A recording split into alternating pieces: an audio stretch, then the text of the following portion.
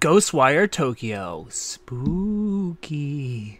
Ghostwire Tokyo is an 8 hour plus long first person action game where you play as Akito, who's been taken over by a spirit after you die. This spirit offers to help you find your sister if you help him take down this masked demon dude.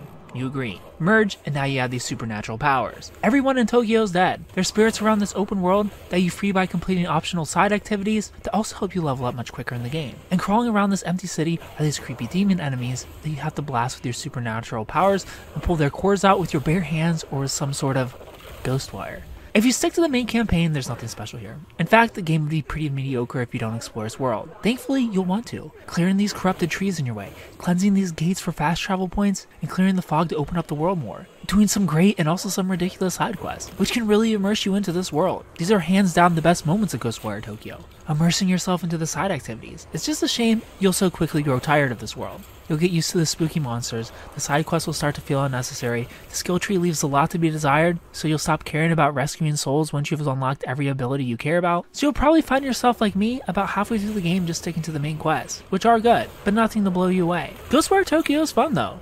Combat is tense, you'll be juggling through abilities, sneaking up behind enemies trying not to alarm the others. I loved my time spent in this creepy world. My only gripe with the combat though is the skin crawling nails on chalkboard feeling when you run out of one of the three energies and have to switch to another. I hate it, and I wish the game would just switch to the next automatically when you're out of one of them, as you do have to destroy glowing items in the environment to refill your ammo or pull the cores out of enemies. Overall, this is a decently enjoyable action horror game. It's unique, it's memorable, worth hopping into, even if it slowly goes from wow, this game is amazing to that game was pretty good. I give Ghostwire Tokyo a 7.5 out of 10. If you played Ghostwire Tokyo, tell me what you thought about it down in the comment section below. If you haven't played it, tell me if you plan on picking it up. Thumbs up. If you liked the video, subscribe to the channel. Follow me on Instagram at Superken Gaming. Thanks for watching, and of course, stay beautiful.